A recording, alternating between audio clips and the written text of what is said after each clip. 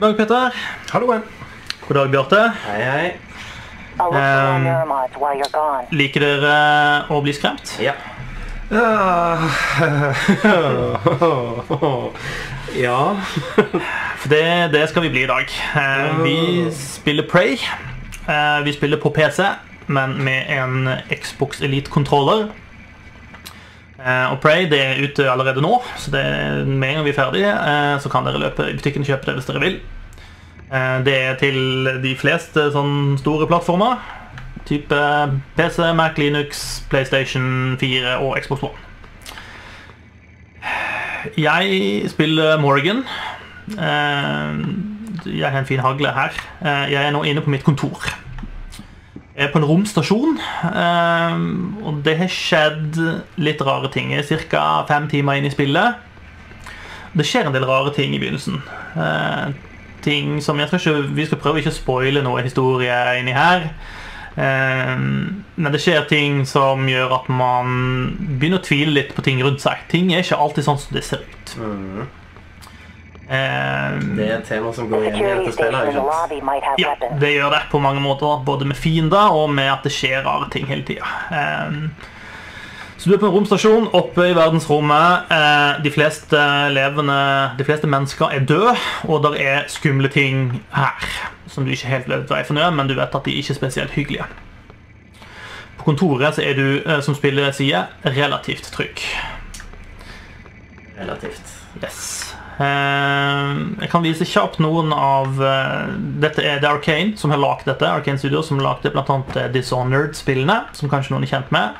Eh, det er kanskje litt lik følelse på dette her, men du har ikke på en måte like sånn supernaturlige krefter her. Eh, men på telefonen din så har du en inventory, og her har du også da såkalte neuromods.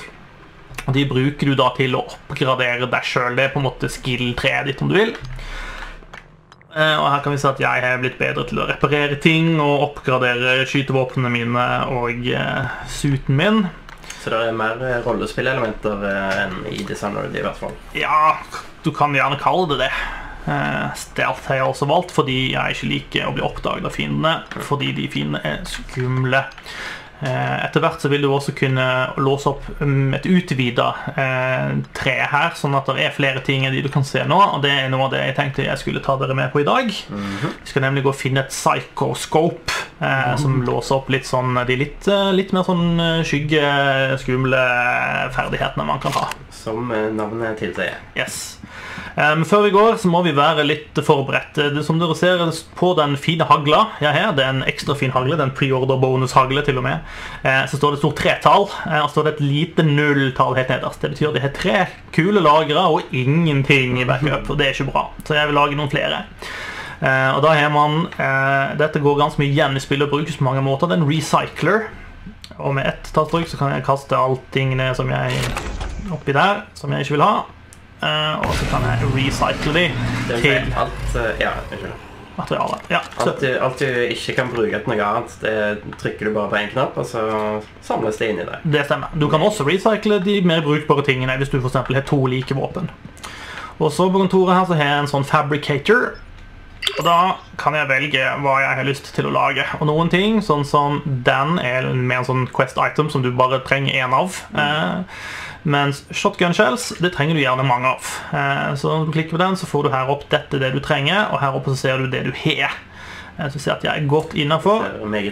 Jeg kan dytte det inn i maskinen og lage det. Og sjops. Dette er fremtida, folkens.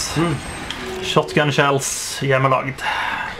Jeg tror jeg tar en til, jeg. Så jeg Ja, det går ikke an å lage i, i bulks. Nei, du må lage en. Men du får jo tolv stykk, da. Ja, det er jo dugelig, det. Yes. Er, er det bare jeg som ser det litt sånn problematiske med en hagle på en romstasjon?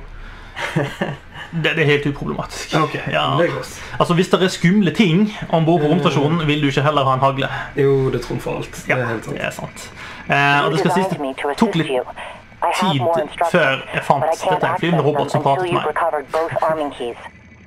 Recovered er. Den med deg hele tiden. Eh, nei, January her eh, tror jeg holder seg litt her på kontoret.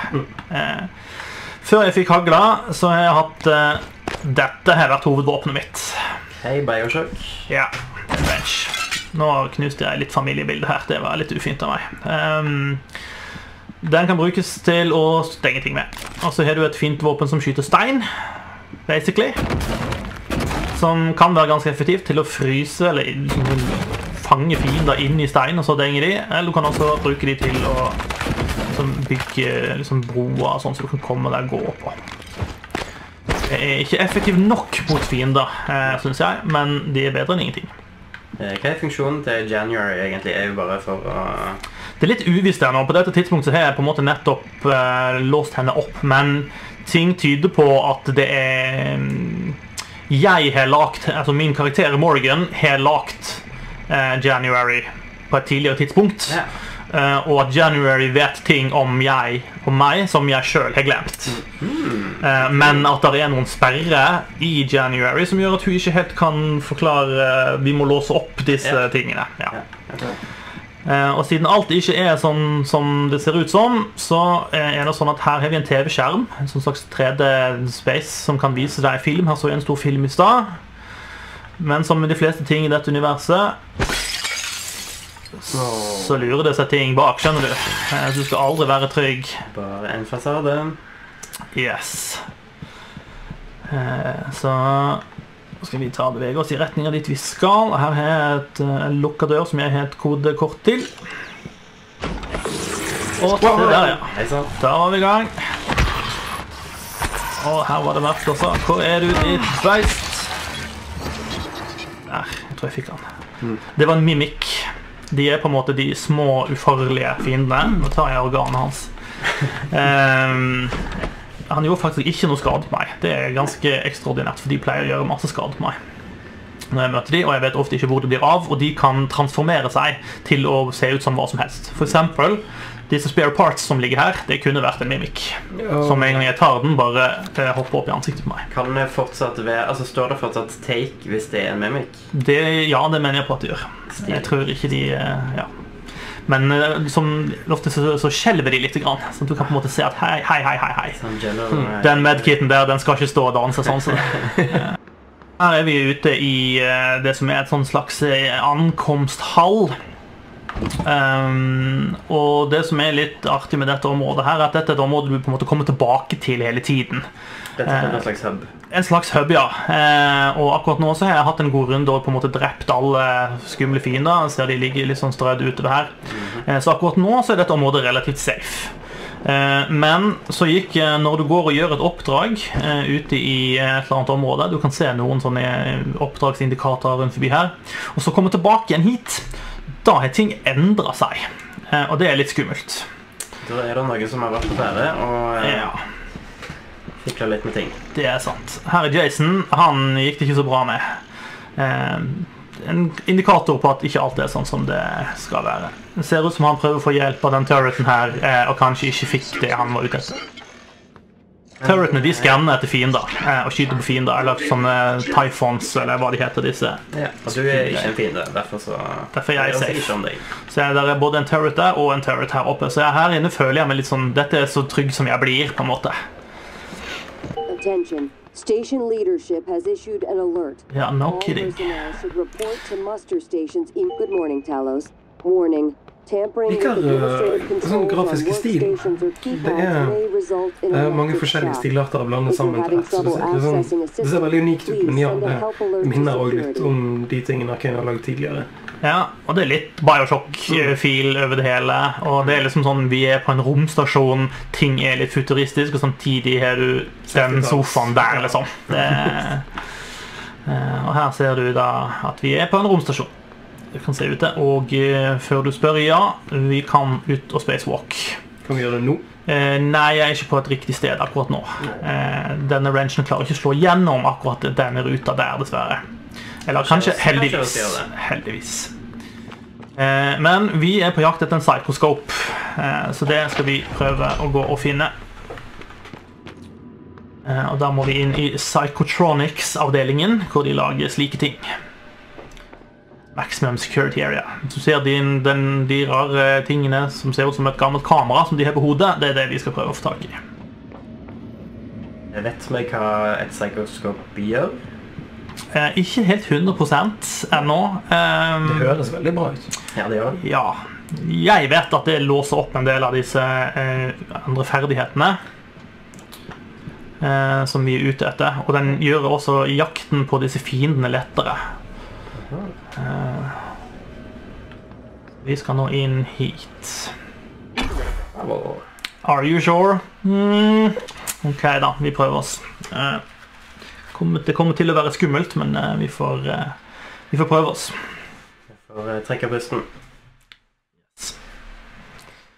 Ellers er dette spillet eh, Det er et spill jeg lagrer veldig mye i, fordi jeg dør veldig ofte eh, i dette spillet. Eh, heldigvis så går det veldig kjapt å quicksave, eh, og det gjør jeg ganske ofte. Eh, også fordi spillet er ganske skummelt og ubehagelig for oss som er litt eh, lettskremt. Dere spillet ofte av seg sjøl, eller? Det er en del autosaves, men, eh, men eh, med tanke på hvor ofte jeg dør, så måtte jeg spilt en del ting om igjen hvis ikke jeg hadde lagra manuelt i tillegg. Eh, Og du står fritt til å lagre når du vil. Mhm. Dette er jo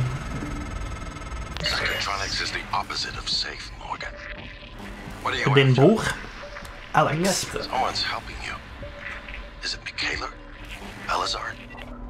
Han jobber litt imot oss. Ja, han virket ikke så blid. Ja. Nei, han eh, vil ikke at vi skal gjøre det vi prøver å gjøre.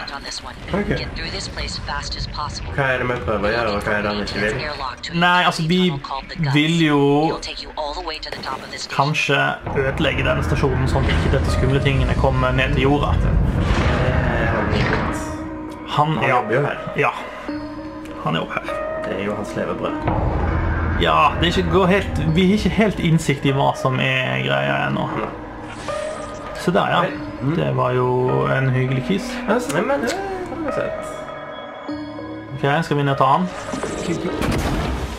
Gi til stein.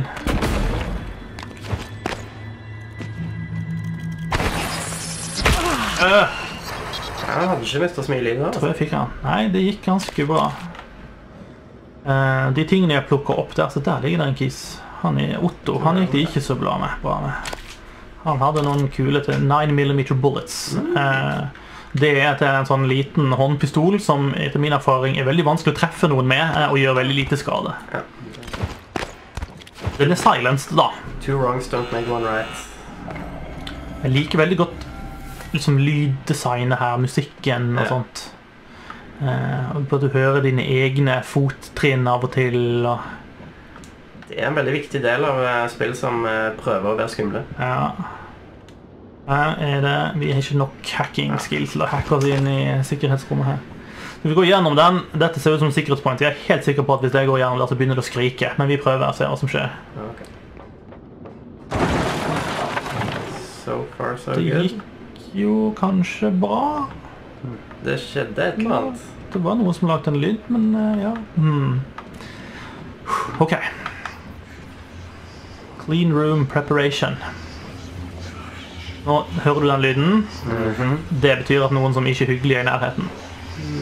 Og noe som er litt større enn en mimic, kanskje. Det er korrekt. Nå er jeg, nå er jeg croucher jeg, så jeg sneak mode. Der var det en sånn en kjip ting. Er veldig snedig at de beveger seg som, som edderkopper. Ja. Det gjør enda litt eklere. Korrekt.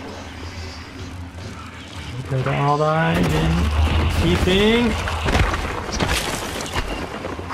Det ble knust. Ok. Da tar vi det. Ok, og her quicksaver jeg fordi jeg er pyse. Fornuftig. Du er bare føre var. Å, men Sale mio!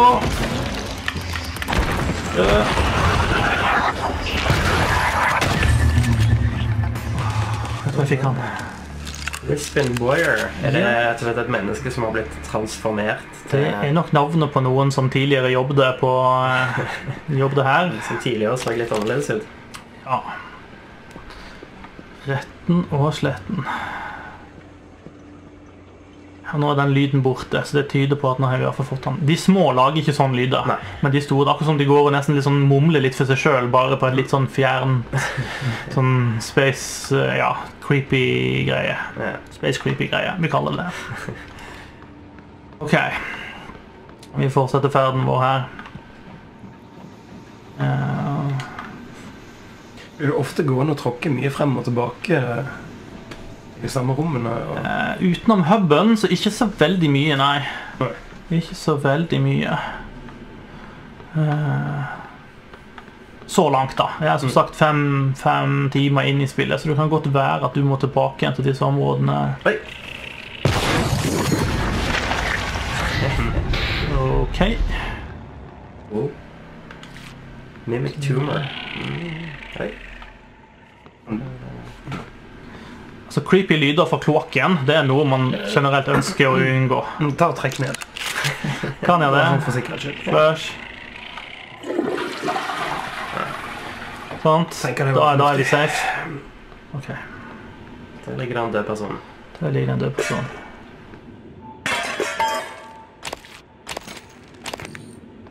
Sa jeg hypo? Det kan vi ikke bruke ennå. Jeg regner med det er knytta til dette scopet som vi, vi trenger. Psychoscope required beyond this point. Ok, Så her kan vi ikke gå videre før vi har fått den. ok. Da er jeg redd vi skal ned i det skumle hullet her, jeg, med den døde personen hengende over.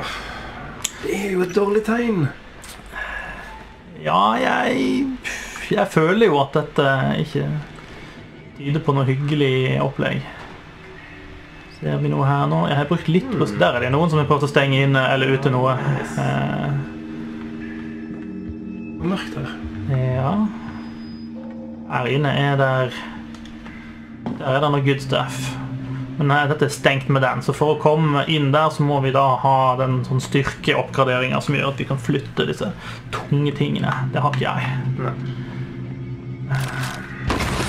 Åh, Å, det er ikke. Åh, det var liksom bare alle. Hjelp! Lad, lad. Det er så fint med shotgun at du trenger ikke å kunne sikte. Nei, det er liksom bare Du skjønner hvorfor jeg går tom for kuler. sant? Det er liksom bare fyr løs. Og det verste med disse mimikene nå, at nå vet jeg jo ikke om jeg fikk alle, eller om en av de bare ser ut som et eller annet Jeg tror det kjipt ligger her. en der borte, gjør det ikke? En død en. Eller Nei, jo. Hvor smarte er disse små tingene? Ja. Det virker som de er egentlig ikke supersmarte. Raskere enn de er smarte. De er det sånn. raske, ja, og du vet ofte ikke hvor de er hen. De overrasker deg, liksom. Her ser det ut som det er en Ja. Som er i stein. Mm, Han noen som hadde gjort jobben for oss. Der ser det ut som vi har en psychoscope. Da fikk vi en ny bar helt nede til venstre skjermen. Ja. Den går på en eller Der Det ringer form. telefonen. A. Det var January. it's the most important tech on Talos 1. Use it to scan the Typhon organisms if you want to learn what makes them tick. You invented it, by the way. At Det er vi som fant opp det, det her. Eh, men vi vet, de husker de liksom ikke sjøl. Eh, og da sier vi at da kan vi bruke dette til å skanne folk. Eh, fin da med. Litt sånn som man tok bilder av folk i Bioshock, f.eks. Ja, og får en, da får en kanskje litt sånn weakness-informasjon og ymse. Ja, det regner jeg med. Og så Allow detection of hidden mimics. Den installerte jeg nå på psykoskopet. Praktisk. Og derfor er det også to neuromods. Det betyr at da kan vi eh, gå inn og Er altså. Oppgradere oss litt, ja. Skal vi se, da er det der. Og nå ser du at vi har også fått disse. Energy og morph og telepathy. Eh, Så da kan vi for eksempel Vi har nå to, var det ikke det vi hadde? Scan more type of specimen with your psychoscope. Known ja. Så ok, vi må liksom låse opp disse tingene. Ja, jeg tror at du låser opp disse ved å skanne de slemmingene. Yeah. Så lærer du på en måte deres ferdigheter, så kan du få de sjøl. Sånn at sparer vi de til neuromodene til vi eventuelt får noe nytt. Det høres fornuftig ut. Der kan vi ta den av og på. Ok, nå quicksaver vi igjen fordi jeg er redd. Det er vel ofte sånn i spill at når du har funnet en viktig ting, så skjer det et eller annet. Oh, ja, ja. Og der er det en kis oppe og går også. Hvis hvem er han. Nei, nå forsvant han sin vei. Forlagt jeg ikke. Kanskje du må se han. Men var det ikke en mimik eh? Jo, det var en et eller annet sted. Jeg så han. Hei. Men hvor ble det av han? Det er det den. Er det den? Den. Den seg. Veldig. Traff han ikke engang. Jeg traff steinen foran. Må være den, var det ikke? Ser ikke ut som det. Medkit, er det den? Skal jeg prøve å bruke den? Use. Ta. Det gikk fint. Hmm. Bare ligge der og disse. Ok, Du blir paranoid av dette spillet, altså. Du gjør det virkelig. Nå spiller motoren òg sånn utslag som det der. Ja. Uff. All right. Alle møblene i rommet bare dirrer. Ja, vi se. Men her var det altså en fa- Phantom. Ja. Skal vi prøve, skal vi prøve å skanne Ja, så vi kan finne den og Der er han. OK, det skannes. Ikke gå vekk, da. Se oss heller. Det tok veldig lang tid. Sånn. Da fikk vi et eller annet. Nå kommer Nei. Åh, der gikk han vekk. Ok, skal vi se hva vi fikk for noe. Eh, det kan vi vel se et eller annet sted her. Research, kanskje? Ja, ja. Phantom. Witness glue. Immunity til EMP. Scannable power, kinetic blast 1 og 2. Betyr det at vi nå har låst den opp? Så her står det noe. Da har jeg låst opp kinetic blast 1 og 2. Vi har ikke nok neuromods-stedene, men Create a physical altså. blast that deals up to 50 damage and pushes away anything within 5 meters. Høres jo veldig behagelig ut å ha, da. Definitivt. La oss eh, spare opp til den. Men eh, vi har fortsatt eh, han Phantom her ute. Det som også er at vi har sneak attack i dette spillet. Så hvis jeg klarer å snike meg opp på han, så gjør jeg han ekstra skade. Dø, dø. Dø, folk, dø mer. Kom. De kan stikke av også, som de der folkene. Men sneak attack det gir ekstra damage, da. Ja, og du kan også oppgradere hvor mye sneak attack damage du gjør. Eh, Så akkurat nå tror jeg det gjør 200% damage hvis de ikke oppdager meg. Det er det. Nå har gått tom for kuler her. Ja Do not enter. Veldig fristende å gå inn der. Eh, oi. Det var en science operator. Scanning. Neuroimaging shows your psychoactive potential is at or near peak level.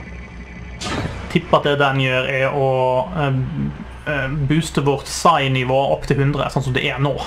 Eh, du har altså tilsvarende health-roboter som healer deg hvis du er er under 100. Excuse me. Det er greit. Ok, da går vi opp i den litt creepy heisen. Ringer telefonen igjen. I know I can't make you stay put, but you're gonna die down there if you don't listen to me. You need to calibrate this psychoscope. Try scanning the Typhon specimens around you. Once you get enough scan data, the labs will open. More importantly, you'll be able to install Typhon-based neuromods. You'll be unstoppable. That's what this is all about, Morgan. You spent three years of your life making it possible. Putting what they can do into us. You've just forgotten. Det er litt sånn der en eh, join the dark side-følelse ved dette her. Er ikke de altså sånne specimens inni der. Ja, det var en Phantom eh, i- Ok. Eh, Ja, vi har faktisk ikke råd til den, da, så vi må vente litt. Good. Sending you the code to his safe and direct to Kalstrup's office. I'm certain he's hidden neuromods there. Use them to install one of the Typhon abilities. Do that, maybe you'll live long enough for me to Kommer see disse this face again. Typhons uh, Det vet- sakene fra? Det vet vi ikke. Eller jeg vet ikke det. Ok, den Ja, den kan ta ja. Greit. Jeg er ikke glad for å være der. Er det en rim, rimelig sjanse for at en av de kan jeg få lukke den igjen? Det hadde vært helt greit om den bare Ja, det gjorde den av seg sjøl. Det er helt greit. det er en grunn til jeg står med hagla når jeg åpner de, for å si det sånn. Skanne der, altså.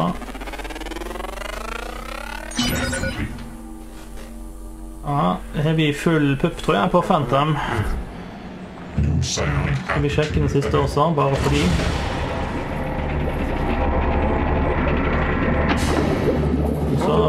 Ut. Det var jo betryggende. Der var det ingenting. Ok. Da skal vi inn til Kelstrups safe da, og finne noen neuromods. Ja, hva kan vel ha gått galt her inne? Eh, der har vi ikke nøkkelen, så da tror jeg vi må inn kode. til den. Han No matching keycard. Jo, men koden var kanskje til safen. Ja, Ikke inn, men uh, vi ser jo at det går an å komme inn her. Du ser også når jeg slår, så det er et sånn stamina-meter som går.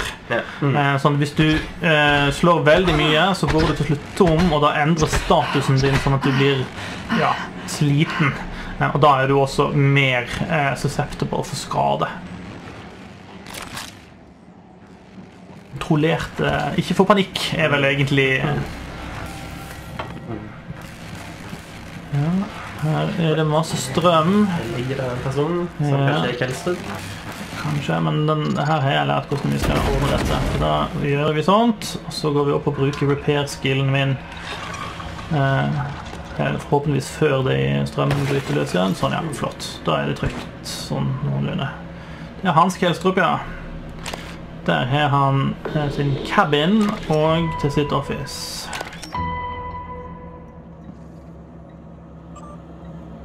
merker jeg sitter hele tiden og tviler på alt jeg ser. Sånn, Ja. Her lå det et teppe rullet sammen der borte, og tenker 'herregud, hva er det her for noe?' Um, det er kanskje ikke så mye det som skjer, men det du er redd for skal skje. Absolutt. Ja, det er mye her du kan på en måte velge å gjøre eller ikke gjøre. Mye, altså, mye informasjon kan du bare gå rett forbi. Der lukker vi opp noe sikkert veldig smart. Rival footage. Contact. Nå spiller vi noe video. Dette er sånn du på en måte kan låse opp underveis, som du ikke trenger å få med deg hvis du ikke er interessert og du bare vil løpe videre og drepe fiender og bli veldig skremt. Men du kan liksom hele veien valgfritt velge og liksom få sånne glimt i hva som foregår her. Så der, ja. Ja. Så dette er vel en eh, alternativ virkelighet der John F. Kennedy aldri ble drept, og eh, starta en voldsom satsing på Space Program. Yes. det har skjønt. Ok, vi får, Der var safen, ja. Uh, skal vi se, og da ser du at når du har fått en kode, så dukker den opp der, så du slipper å gå og huske det sjøl. Du må sjøl taste den inn. Du kunne også velge å hacke, for eksempel, hvis du er flink nok til det. Der var det Neuromod Fabrication Plan. Så det er veldig greit. Da kan vi med en sånn fabricator kan vi da lage våre egne. Ah. Ok, det var ikke forstyrret i det. Ha den der gående. If you scan enough Typhon organisms, you'll be able to install neuromods that are powerful, but they're the reason we're in this mess. For one thing, the station's defensive turrets will identify you as an alien threat. There might be worse consequences I can't yet see. I don't want you to lose yourself. Yeah, there might be worse consequences. Er det det jeg ser? Dette er derfor vi har en sånn psykoskop. Men eh, hvordan får vi den der ut, da? Det hvis jeg lager noe? For eksempel Å, Oi. Du, bli liggende der. Du, dette går jeg ikke med på. Nei, ligg i ro.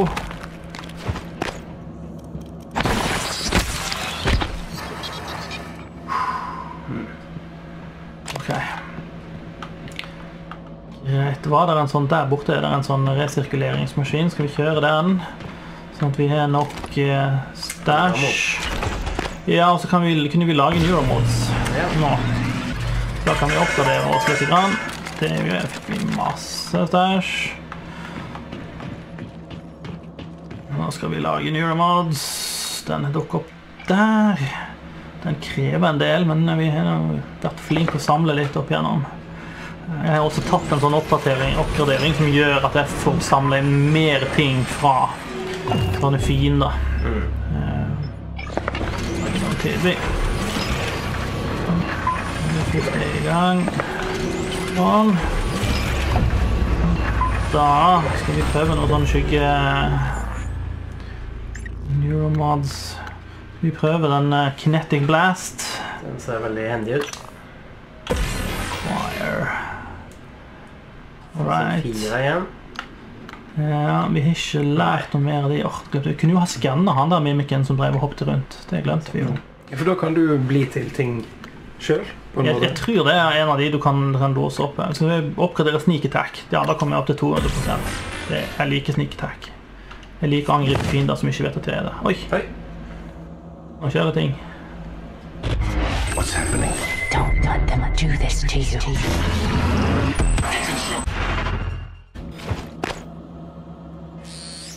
Ok. How does it feel? Do you remember? The first time you said it was like were outside yourself, like time itself had bent its knee, waiting for you to decide. You moved my chair without touching it. It gave me chills. The possibilities.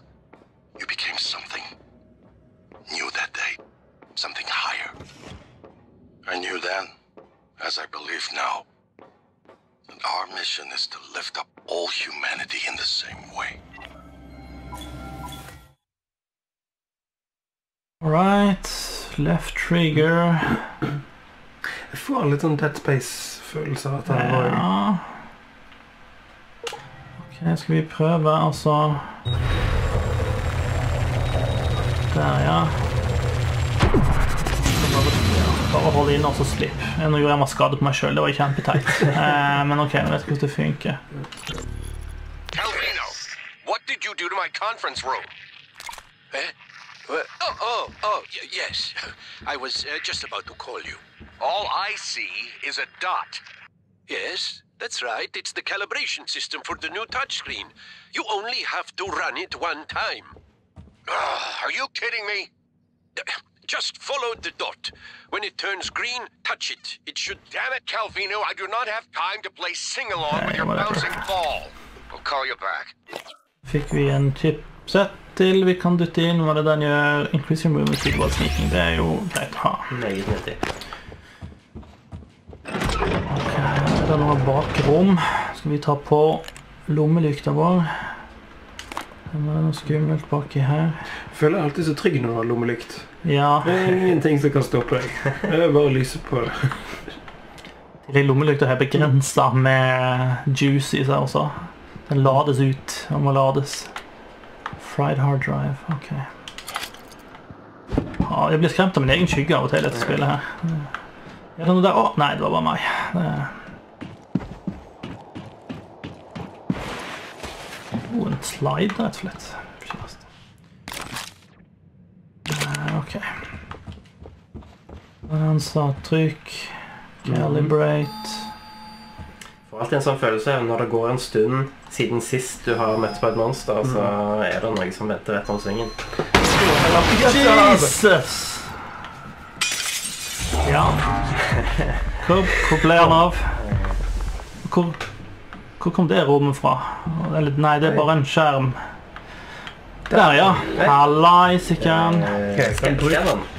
Men vi har full, vi har full Phantom. Ja, ja. Kan du bruke den der?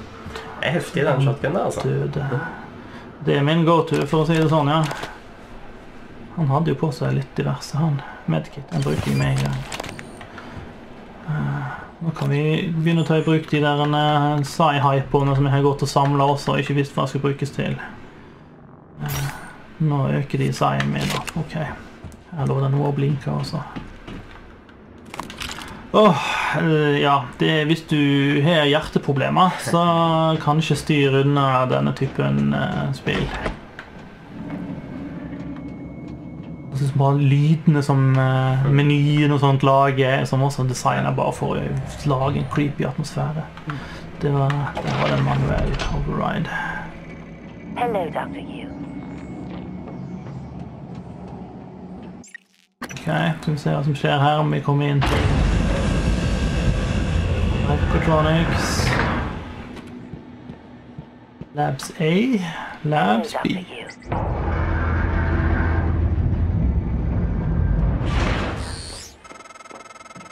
Take a good look. Everything happening on Talos 1 started here. You were so driven in That the can't be beginning. By mistake, I was agreeing to put you at the center of the tests. That's when you began to drift away from me. Brr. We're close to understanding what they're after. What they're building. Just need a little more time. Ok, eh, tar vi går videre. Vi ser, nå har vi fått en ny Sånn, den, skal vi se. Ser ut som en Der. battle, dette her.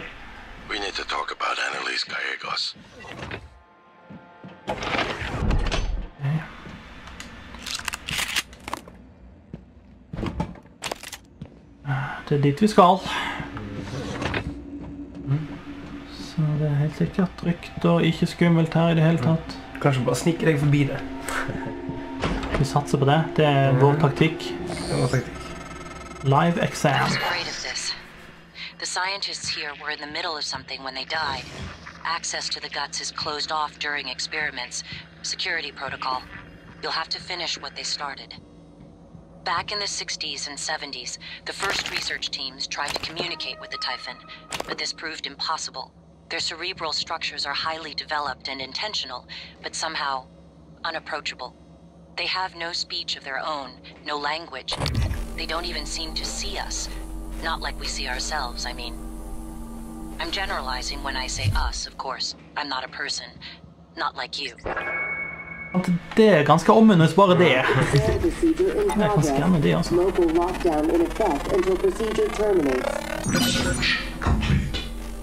Ja, så måten du bli blir bedre på engineering er med å skanne disse veldig eh, Ja, rodene. tydeligvis. Nå, Weaveren. Nå, creepy. No er det er noe du har eh, vært borti? Eh, ja Jeg mener på jeg plukker opp en sånn slags nullwave-granat eller felle på et tidspunkt. Eh, som de der ikke liker.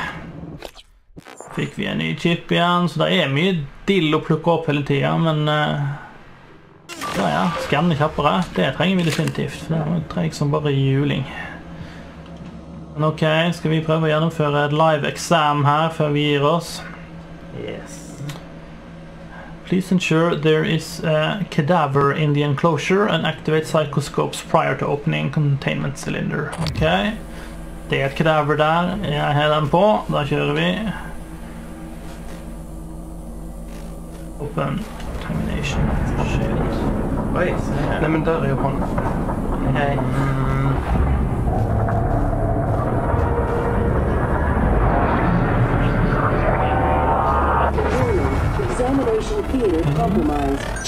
Han lagde en ny en. Eh, er vi trygge her, eller er han på vei ut? Han går, han går rett ut, jo. Men strømmen gikk ut. Men, å, han tåler jo skit masse. Scheisse, compromised. ble det av han? Der. Nei, Hva gjorde jeg? Sånn. Kan jeg han? Power is still in cooldown. Vi har nesten. Wrench. Good uh, old wrench. Features of All else oh. fails wrenching. The Typhon kill us without hesitation. But it's not because they're evil. It's because they can't do otherwise. You know what we discovered? They lack mirror neurons. Et eple i seg. det. All their wonderful abilities. Jeg holder There's doktoren unna, one thing we can do that they can't. Empathize with the suffering of another living creature. Det er så hyggelig at de ikke kan det, da. Det, altså der, ja. Det var jo ikke Ok, jeg vet ikke om det var smart, Eh, Yes, ok. Jeg lurer på om vi skal la hjertet mitt få lov til å hvile litt. Grann, der? her. Er? Eh, han. Han kan sikkert hjelpe meg å få opp steinen min igjen. Fiksa suiten min. Har du sett så nydelig? Det er jo det snilleste jeg har opplevd så langt i dette spillet. Ja. Er det noe mer dere tenker dere lurer på om, eh, om dette spillet her? Annet enn hva i svarte er det som foregår? Eller kan, går det an å snike seg gjennom hele spillet uten å liksom måtte slåss med en eneste sånn Fordi han der inne virket veldig stor. Ja, eh, svaret på det eh, Jeg tror at svaret er nei. Eh, men det er klart eh, der er, Jeg leste et eller annet sted at det er sånn speedrunner som har klart et spill på liksom 20 minutter. eller noe sånt. Mm. sånn, det kan godt være at det er mulig å snike og løpe fra de fleste tingene. Eh, men eh, jeg tror det skal godt gjøres, i hvert fall. Det virker som om en del sånne konfrontasjoner er lagt for at du skal måtte gjennom de. Sånn her sa jo han også at du måtte gjøre dette her for å komme videre.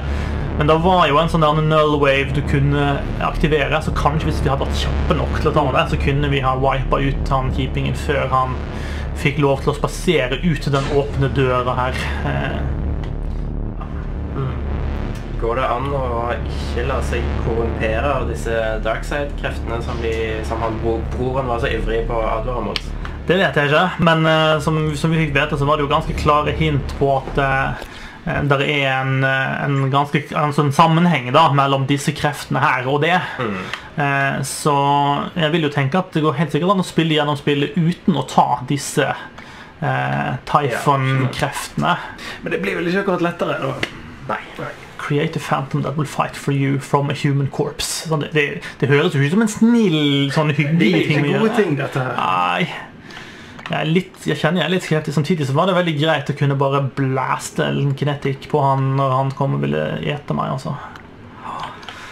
Åh, nei, jeg, hjertet mitt eh, trenger en pause, en kopp kaffe, og det, det er søndag og trenger å slappe av litt. Eh, men eh, Prey, som sagt, er ute nå. Eh, det er bare å løpe og kjøpe det i butikken for de som tør. Eh, jeg syns det er skummelt, jeg syns det er gøy. Eh, mest av alt så lurer jeg på hva det egentlig er som foregår her. Em, og eh, så langt så kan jeg absolutt anbefale det for de som ikke er mørkeredde. Det er ikke meg, altså. Det er ikke deg, nei. Det er nei. Nei, men det er jo. Jeg eh, skal spille dette så snart som mulig. Ok, da. Jeg skal se det på YouTube. Det er alltid en god utvei. Alright, takk for det at dere så på. Eh, yes, vi skal prøve, Hvis vi klarer å komme oss, så skal vi komme tilbake senere med en annen kjapp kikk etter hvert.